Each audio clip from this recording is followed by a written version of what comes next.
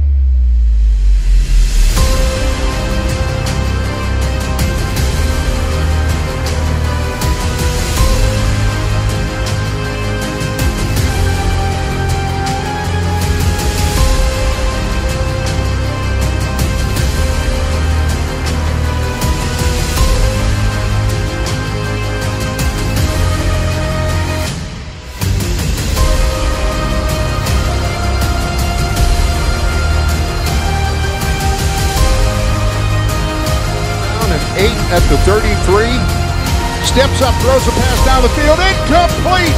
Ball over on downs. When they needed a play the most, the Steelers rose up on the defensive side of the ball. That's why they play 60 minutes of football because a half doesn't mean anything. yeah. The Steelers are AFC North champs once again. Thank you for watching. If you enjoyed that video, don't forget to like and subscribe. Videos coming all off season. And if you want to support the channel, a great way is by checking out my Teespring